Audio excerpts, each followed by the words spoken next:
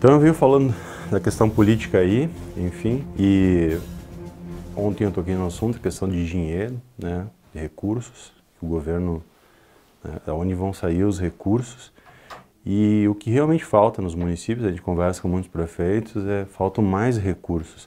Hoje só com o, só com o orçamento que os municípios recebem, eles, não, eles, eles conseguem manter a estrutura. Para eles fazerem mais investimentos, eles dependem das emendas parlamentares.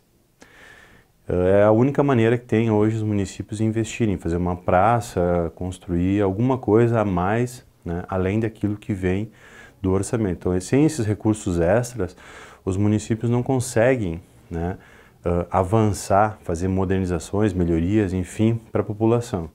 Então, falta dinheiro e é sabido que falta em toda a estrutura. Né? Os municípios fazem um esforço gigantesco em termos de gestão aí para tentar equalizar isso e oferecer para a população.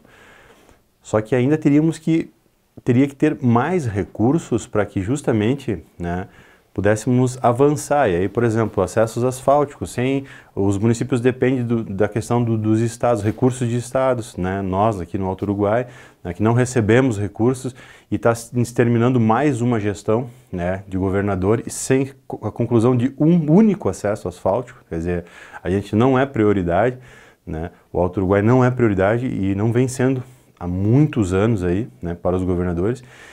E um outro ponto agora, me referindo à questão dos presidenciáveis, os, presidentes, os candidatos a presidente, quer dizer, é a questão de, de onde vai sair os recursos para ser implantado em todas as propostas que, que vêm sendo colocadas aí. Né? Nós temos uma população endividada, muito endividada, né? sem poder aquisitivo e uma economia totalmente engessada. E um ponto que eu acho que não vem sendo falado, né? não vem sendo comentado, é, é para ilustrar, é esse gráfico aqui, ó. Isso que foi o orçamento da União executado em 2017.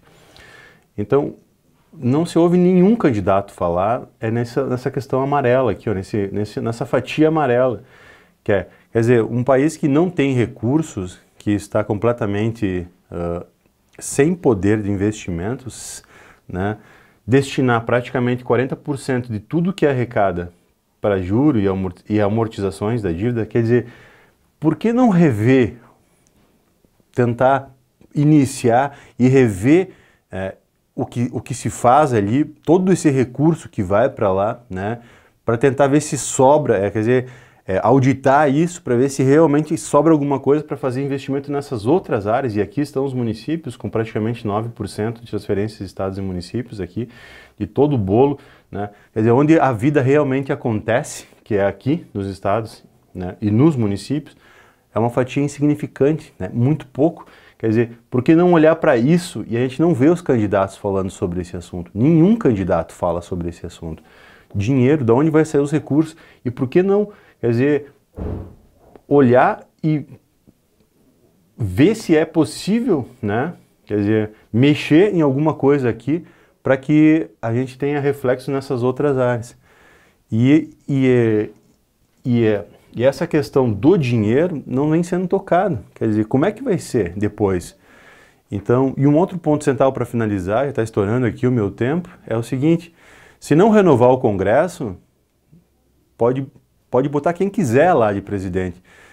Mas a chave de todo o processo também é renovar o Congresso. E sem essa renovação, é, e a estrutura está feita para não renovar, né?